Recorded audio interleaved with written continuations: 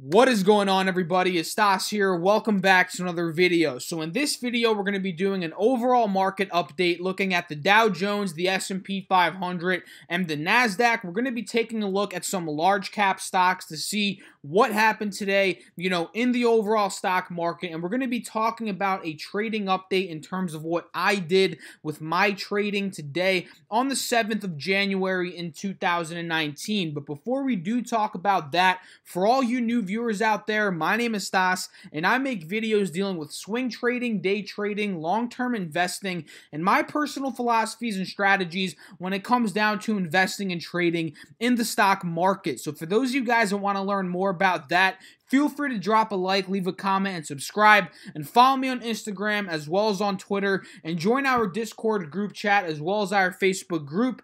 All of those are linked down below in the description box. And let's get started with today's video. So, today, guys, wasn't the most eventful day in the stock market, right? We started off pretty flat, then we started to climb up you know, you know, heading into the middle of the day, and then we started to see a little sell-off. So we can see that here on the one day, one minute. You know, we started off flat pretty much right at that resistance on the Dow Jones that we're going to talk about in a little bit. We started to climb up, and then we ended up selling off heading into the close with the 180 and the 50 SMA uh, simple moving averages acting as resistance points. So let's take a look a little bit deeper into what these charts are telling us and we'll take a look into you know some longer term time frames to draw out some supports and uh, resistances to help us understand where the market could be potentially headed over these next couple of weeks. And i think it's very important guys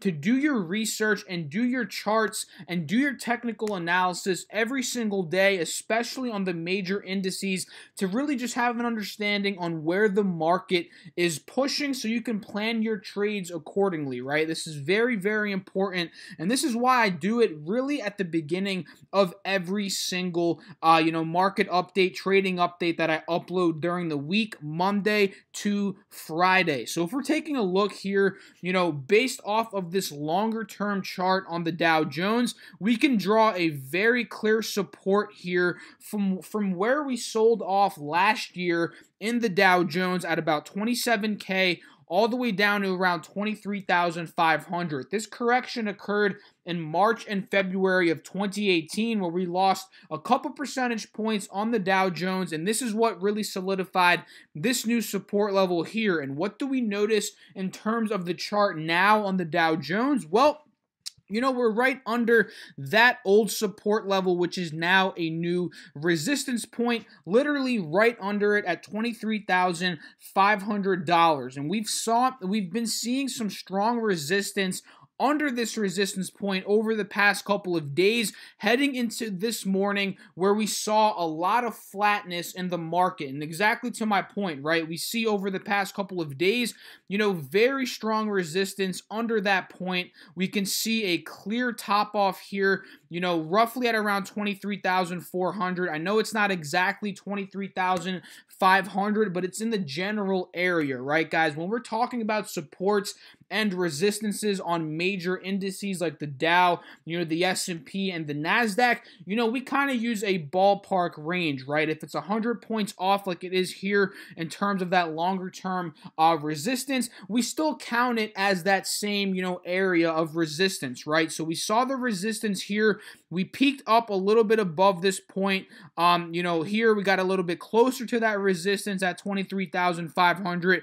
We peaked above it like I mentioned earlier in this video. We had a little run, and then once we started to sell off, you know, middle of the day pretty much, you know, we got back under that resistance at around 23,500, and we're pretty much hovering right around it, um, you know, right now. So in terms of this longer term chart, guys, we do notice some positive reversal reversal signs for the Dow Jones, especially since it's holding above this 180 day simple moving average, which has been a support in the past on this three year, one week chart. We can see it here, guys, and we can see some green candlesticks right now starting to form on top of this 180 SMA. So, if we're taking a look at some closer term charts here, we do notice we are at a resistance right now under the 50 SMA, and again, under that same resistance that we were talking about just now, right at 23,500. So, in my opinion, guys,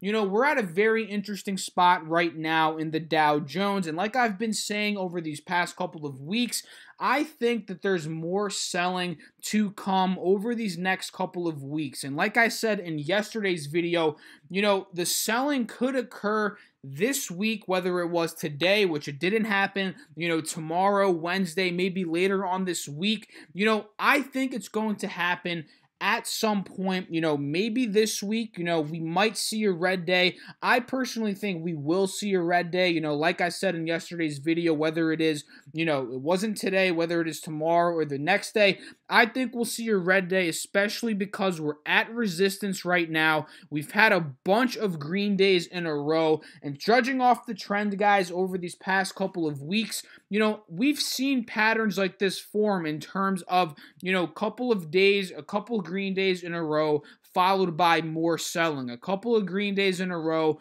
followed by even more selling. So I personally think you know, right now, judging off this chart, that we're still, you know, obviously in a downtrend on a technical basis and that we will see some selling coming because, you know, let's say we broke out of this resistance here and started to test this support, right, which is now a uh, obviously a new resistance, that's going to be putting us even more overextended, right, overbought. And honestly, guys, there is potential if we have a couple more green days that we could get to this area and I think we'll sell even harder if we do end up pushing up to here because like I said, you know, the Dow will be overbought at that point. At that point, there'll be about 10, 14 green days in a row. Well, maybe not 10, 14, about 7 to 10 green days in a row if we get to this area. And, you know, it's inevitable, in my opinion, especially with the state of the market right now, that we will experience a red day, you know, in this area of the Dow Jones. So keep an eye on this resistance here from that sell off last year at 23,500,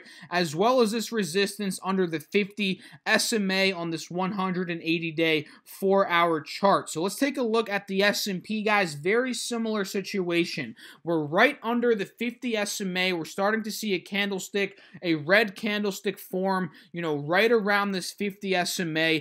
And, you know, we've been having trouble breaking above these longer term resistances, um, you know, that were set from the correction in the S&P 500 uh, last year. Same time period as the Dow Jones, guys. We saw a sizable correction from around 28, 2850-ish all the way down to around 2600 and that's the next support or resistance rather right now that we see on the S&P 500. So keep an eye on this old support which is now a new resistance because right now this direction of the S&P is pointing that we are headed towards that particular um you know resistance although we are at a resistance right now on the 50 SMA. So remember, guys, if we break out of this, which we currently are slightly, right, if we do successfully start to test around this 2600 level, you know, that's going to be putting us even closer to that resistance from a couple of, uh, you know, months back in 2019. And just like the Dow Jones, we're holding above the 180 simple moving average here on the three-year, one-week chart, which is a pretty good sign, um, you know, for the S&P 500. But, but again, guys, with all the tensions right now, with the economy slowing down, the trade war, I do think there is more selling off to come, whether it's this week, Next week, I think it's inevitable that we're going to be seeing a couple of red days coming in the very near future, you know, due to the massive, not really massive, but you know, these couple of green days in a row that we've had that's really helped the major indexes recover, um, you know, in their values. So let's take a look at what's going on right now in the NASDAQ uh, 100 here. We notice that we're right under the 180 simple moving average resistance right here. We successfully made another higher high in terms of this index. We bounced on the 50 SMA here on this nice pullback. We pushed up, made a higher high from the previous high at around 63.75.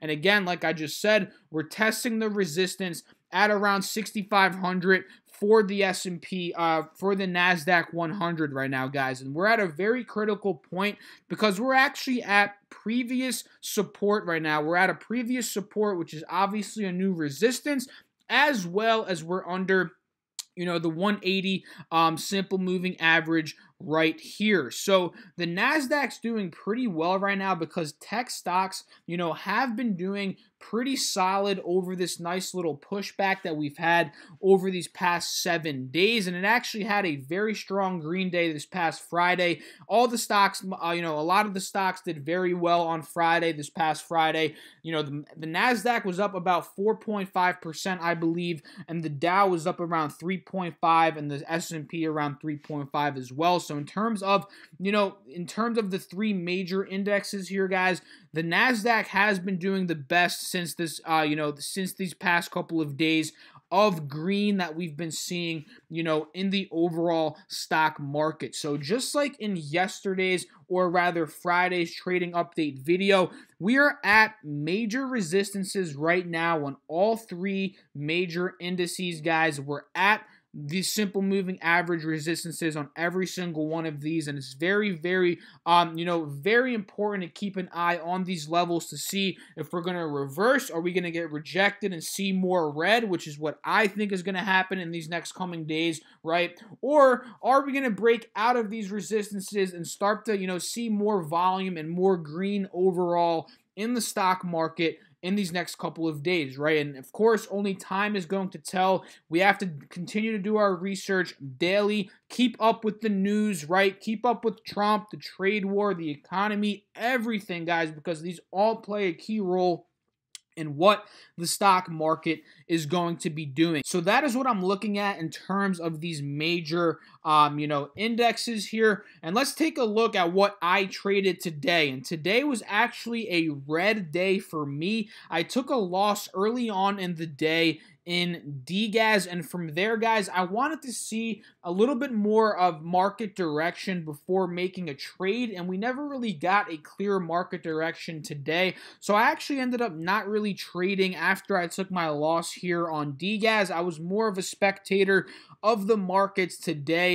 And, you know, that's how it is sometimes, right? You're really not supposed to force trades when you don't see opportunities. I always talk about this on the channel, guys.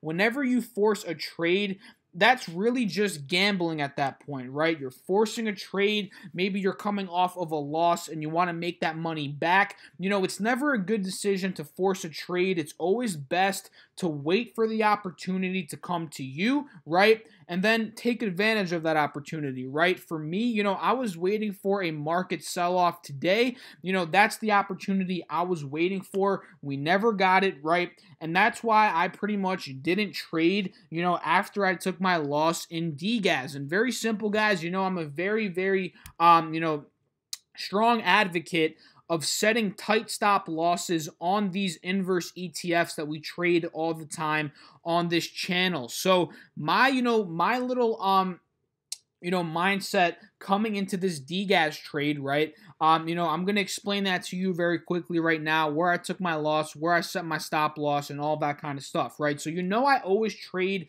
stocks and ETFs that gap up in pre market hours, they start to sell off opening that margin of profit. That is what I like to focus on most of the time, you know, early on in the day when I'm trading, right? Mostly I'm trading early on in the day, and sometimes I do trade during power hour later on in the day when I do see more, uh, if I do see opportunities, right? And in this particular case, guys, we opened up the margin of profit, right? We ended up selling off you know, heading into the uh, market open. We opened up a decent margin of profit of around 3%. We started to push up here, and this is when I ended up taking my position because at this point, guys, my thought process was okay, DGAZ is slowly starting to fill that pre market gap. So let's see if I can capitalize on this pre-market gap fill, right? I took my position here, obviously set a 1.5% stop loss on this position because with the ETFs, I set them a little bit tighter because they're really volatile.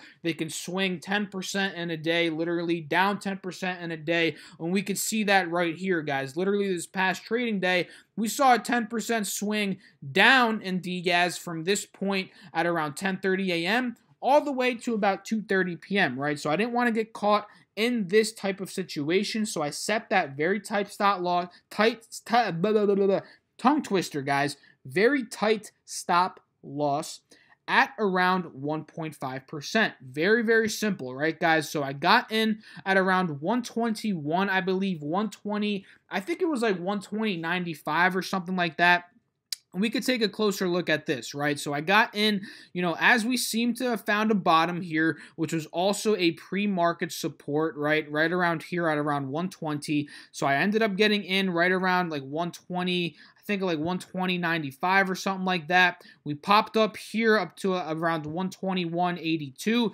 At that point, guys, I was up about like whatever 0.2, 0.3%, nothing crazy at all. And then we start we started to see a strong resistance on DGAZ at around 121 if we judge what happened up to around 10 10 a.m. Eastern Standard Time, right? And we pretty much triple topped here, ended up selling off aggressively, and my stop loss triggered at around 1.5%, and I ended up taking that little loss. And whenever I take a loss, guys, my mentality is always to evaluate the trade, right, and not hop into another trade just because I took a loss. This is a very important beginner thing, guys. Beginner mistake. A lot of people do this is, like I mentioned a couple minutes ago, you take a loss and you try to force another trade, right?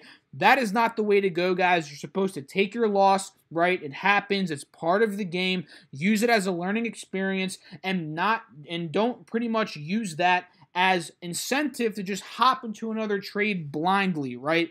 Always wait for opportunities. 100% the most important thing in trading stocks. Well, maybe not the most important thing, but one of the most important things is to not force trades, be patient, Wait for opportunities to open up to you. If you stick to these three pillars, guys, you'll be pretty pretty solid at trading over time. This is not going to be an overnight thing. If you know, you got to always practice every single day, you know, pretty much master your craft every day, be patient, wait for opportunities and you'll be pretty much well off in terms of trading if you do stick to your core rules and principles. So, that's pretty much it for you know what happened with my trading right the overall market update now let's take a look at some large cap stocks that really do influence the entire market. And I want to start off here with Apple, guys. Apple was very flat today, down 33 cents, down about 0.2%. Not much movement at all. But I want to really talk about, um, you know, if why Apple has such a big influence on the market and why I do think the market is going to continue to go down. This is one catalyst that I really think um, is going to drag the entire market down, guys, just to be completely honest with you guys. So we saw Apple, right? They cut their revenue, their sales in China is weak, which is expected because the Chinese economy right now not doing too hot. If you guys don't know, um, you know, most Chinese stocks are down literally like 50, 60, uh, 70% from where the market peaked, you know, a while back, right? You know, the stock market in China is very bad. The economy is very bad. And this is having effect on a lot of the U.S. companies and the U.S. market, including Apple. So if we're looking at Apple right now on a technical basis, guys, we're finding resistance right here under this previous support at around 146, 147, and under the uh, 50 simple moving average. So with this bad news that we got, and Apple, um, you know, reporting earnings soon, right? And they're probably going to drop after earnings. I think this is going to drag the entire market down because a lot of people out there, investors, traders, they keep an eye on Apple to see, you know, how everything is going on in the stock market, right? This is not the sole stock that we look at, right, to judge the markets, but it's one of the main stocks, right, that we take a look at to judge, you know, what's going on in the United States stock market, in China, you know, and like I've been saying, guys, China is having a huge effect on Apple, right? And that's going to drag the stock down, in my opinion, thus dragging down other large cap stocks, thus dragging down further um you know all the indexes and everything that we talk about you know in terms of you know the major stocks on this channel right so that is why i'm still bearish you know on uh you know the major stock markets you know the uh, major stocks right now guys because Sales are weak, revenues are dropping in Apple, the trade war, the tariffs are affecting tons of companies, and you know, numbers are dropping. So I think, you know, we're going to be selling off whether again, like I said in, earlier in this video, it's tomorrow, the next day, the next day. I think we're going to be seeing some red days coming very, very soon. So that is what I'm looking at in terms of Apple. If we take a look at some other very massive companies like Facebook, you know, Facebook's at a resistance right now. You know, Amazon's probably at a resistance. It passed the resistance, but it's still in that lower high pattern of a downtrending pattern. You know, Netflix did very well today, actually, guys. This one's actually one of them that is out of its downwards trend, but technically still making lower highs if we're looking at the longer term chart here, right? So we're seeing a lot of large cap stocks, the indices at resistance points. And like I've been saying, guys, I think there's going to be more selling. So drop a comment. Let me know what you guys think. Is there going to be more selling to come? Are you expecting red days? Do you have put options over the next week, over the next two weeks, month? What do you guys have planned? I would love to love to know. Drop a comment down below. I'll catch you guys in the next video. Thanks for all the love again that I get on this channel from you guys. I really, really appreciate it. I'll see you guys later. Have a good one. Peace out.